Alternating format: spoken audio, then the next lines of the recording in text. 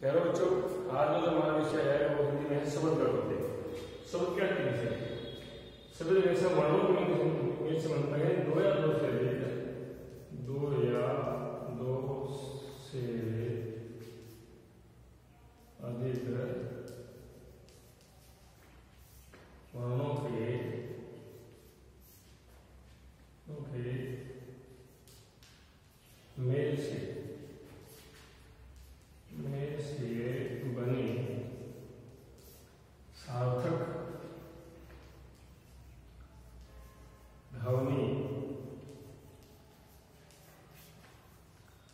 को शब्द कहते हैं शब्द कहते हैं जैसे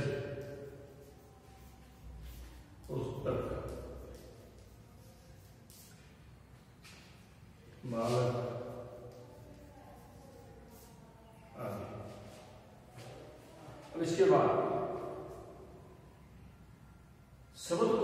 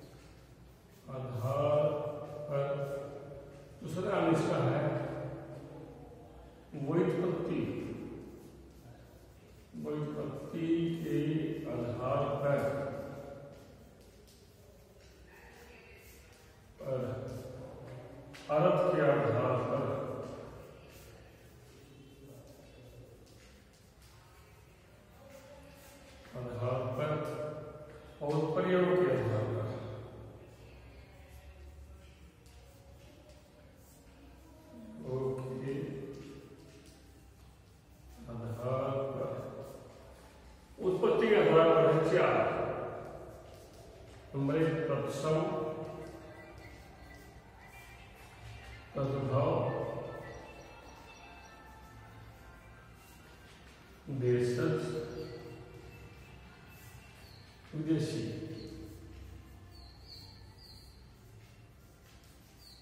देशी ये है तीन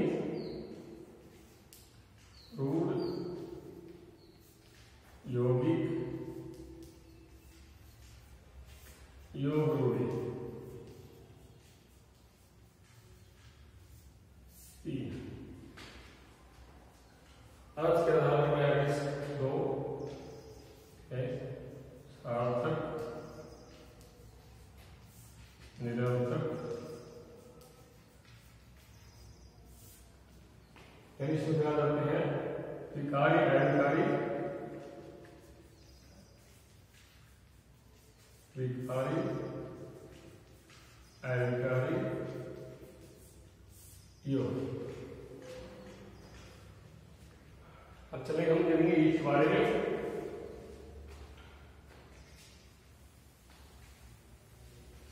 सार्थक बच्चों अब देखिए तत्सम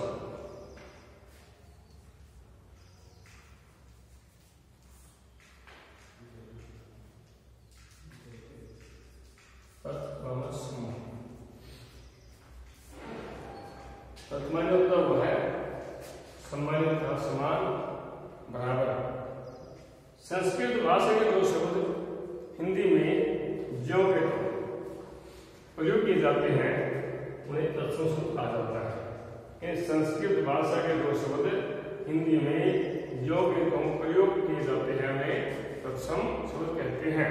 जैसे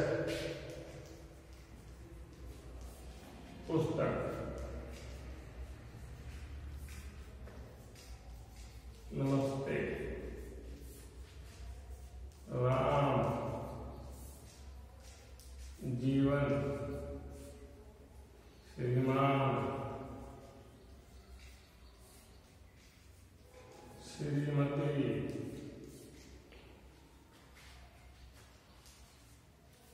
वायु और नमन ये जो शब्द है उदाहरण है, संस्कृत भाषा के जो शब्द हिंदी में जो के क्यों बिना बदले प्रयोग किए जाते हैं, उन्हें तत्सम शब्द कहते हैं। जैसे नमस्ते है, प्रणाम है, जीवन है, श्रीमान है, श्रीमती है, वायु है, नमन है, जन है आदि प्रकार से। अगला इसके बाद है हमारा लिखेंगे तद्भव नंबर दो का है तद्भव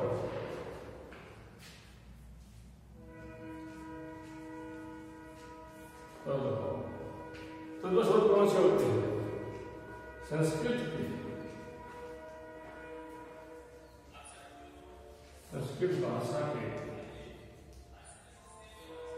एक, जो शब्द बदल कर। कर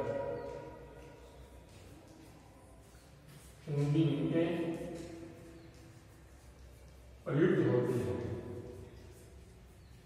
है। है। संस्कृत भाषा के जो शब्द बदल कर परिवर्तन होकर के हिंदी में प्रयुक्त होते हैं, उन्हें तद्भव शब्द कहा जाता है। जैसे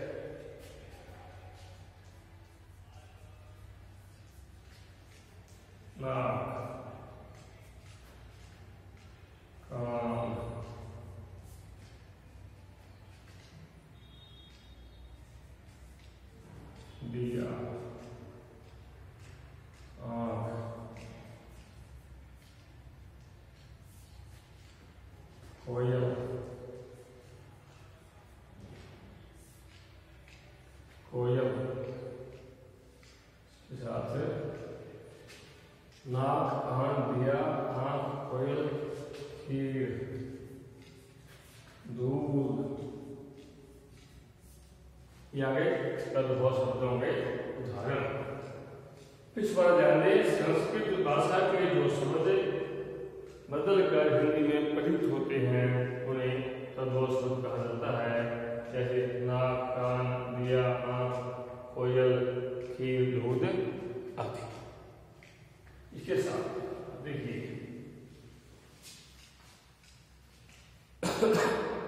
विदेशज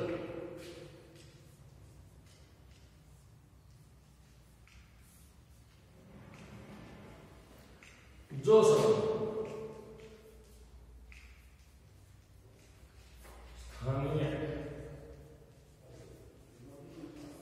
भाषाओं से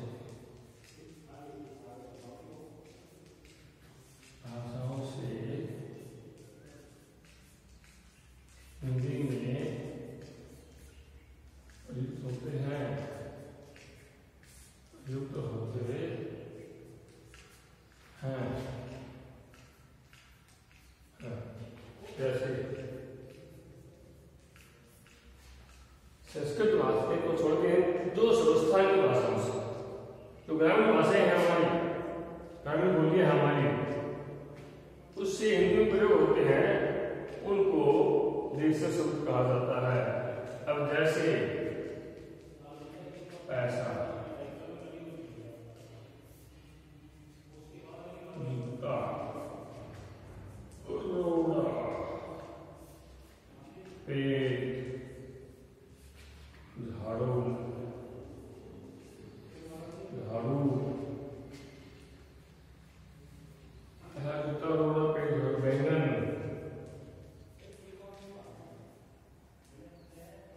आदि पैसा जूता रोड़ा पेड़ झाड़ू बैंगन ये सब सारे क्या है? हमारे देशज आते हैं। देशज होते फिर भाषा में देशज शब्द कौन से हैं? जो शब्द स्थानीय भाषाओं से, स्थानीय बोली से, ग्रामीण भाषाओं से हिंदी में प्रयोग किए जाते हैं। इन्हें कहते हैं, देशज शब्द कहते हैं। ऐसा है, जूता है, रोड़ा है, झाड़ू है, बैंगन है, इत्यादि। इसके बाद अगला हमारा है। विदेशी शब्द कौन से हैं। विदेशी। जो शब्द विदेशी कौन से भाई? विदेशी।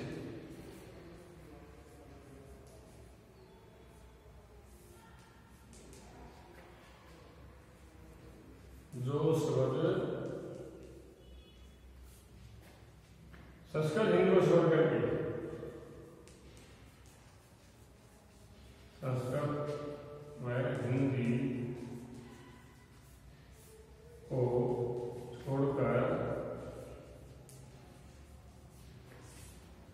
दूसरे दूसरी भाषाओं से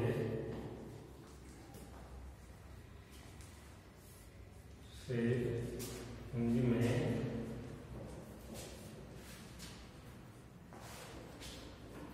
प्रयुक्त होते हैं।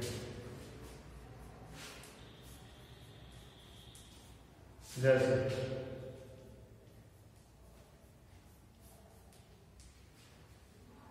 जो शब्द संस्कृत और हिंदी भाषा में छोड़ करके दूसरी भाषाओं से, अन्य भाषाओं से हिंदी में प्रयुक्त होते हैं हम कहते हैं, विदेशी शब्द कहते हैं, जैसे। हमारा और कैमरा के साथ पंखा स्टेशन।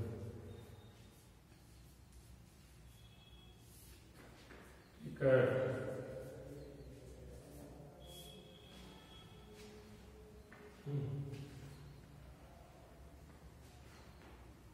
बेंच कुर्सी अलमारी आदि जो स्वस्थ संस्कृत व हिंदी भाषा छोड़ करके हिंदी में प्रयुक्त किए जाते हैं, उन्हें हैं देसी शब्द कहते हैं, अब जैसे कमरा है, कैमरा है, पंखा है, स्टेशन है, टिकट है, कुर्सी है, अलमारी है, आदि। ये आ जाते हैं हमारे विदेशी शब्द इसके बाद अगले आते हैं।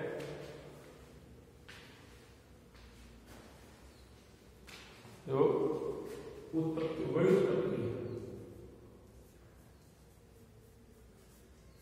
या बनावट या रचना के आधार पर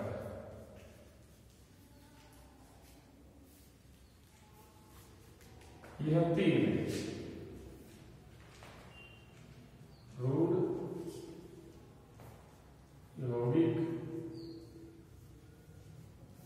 और योग रूढ़ी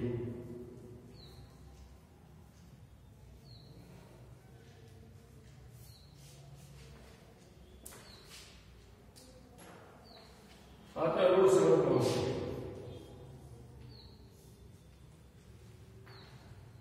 रूढ़ शब्द वे शब्द होते हैं, जो अपने मूल अर्थ के लिए प्रसिद्ध होते हैं।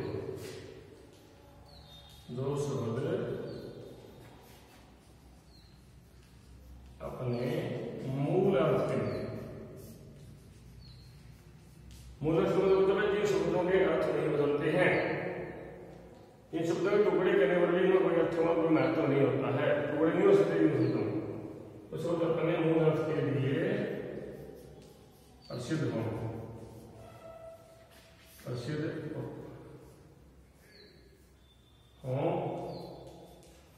उन्हें शब्द कहते हैं शब्द कहते हैं जैसे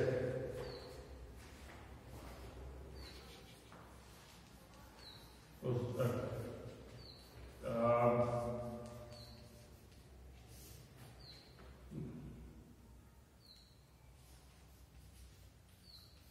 कमरा बच्चा लड़का आदि कहते हैं टूर शब्द जो शब्द अपने मूल अर्थ के लिए प्रसिद्ध हों उन्हें टूर शब्द कहा जाता है जैसे पुस्तक है किताब है कमरा है बच्चा है लड़का है घोड़ा इत्यादि। इसके बाद अगला आपका हमारा यौगिक। यौगिक में चलेंगे। जी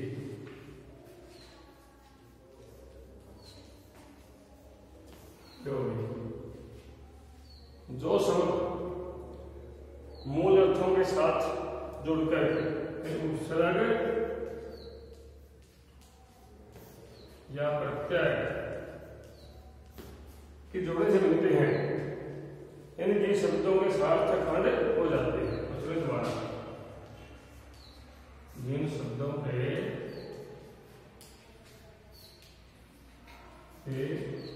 सार्थक खंड होते हैं।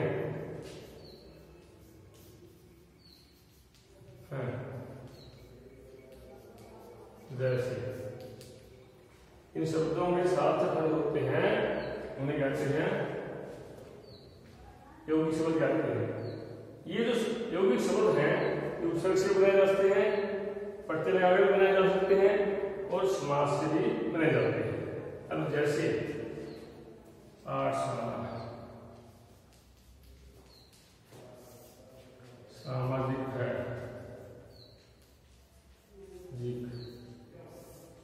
समाज उसमें देवालय है रसोई घर है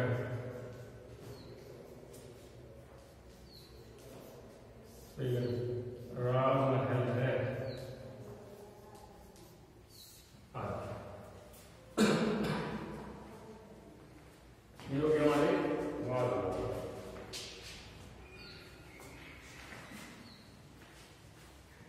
इसके बाद अगला इसमें पे जो बचता है योग रूढ़ी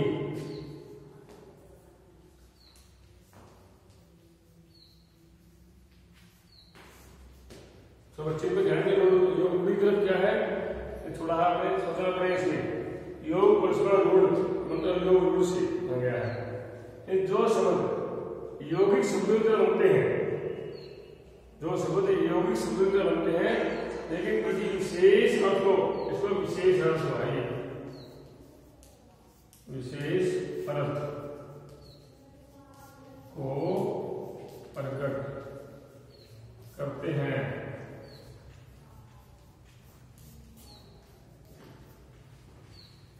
जो शब्द योगी और उड़ दोनों मिलाने से, यानी जो शब्द किसी योग रूढ़ है योगी शब्द होते हैं, लेकिन किसी विशेष अर्थ करते हैं। कहते हैं, योग शब्द कहा जाता है।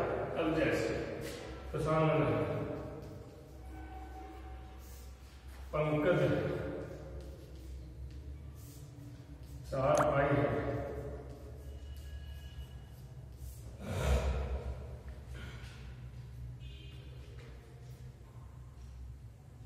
lá não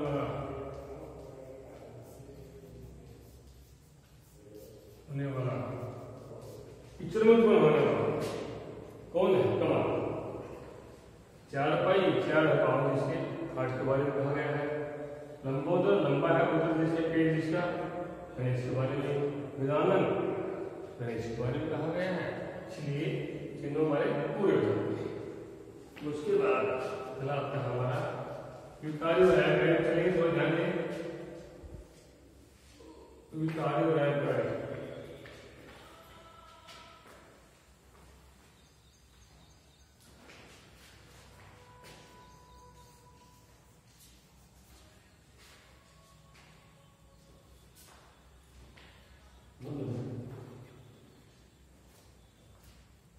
बीस लगी चलो बच्चों अगला बात करेंगे। कल का जो टॉपिक बच गया हमारा कल करेंगे। धन्यवाद इसके लिए और कोई पूछना तो दोबारा पूछ सकते हैं। Thank you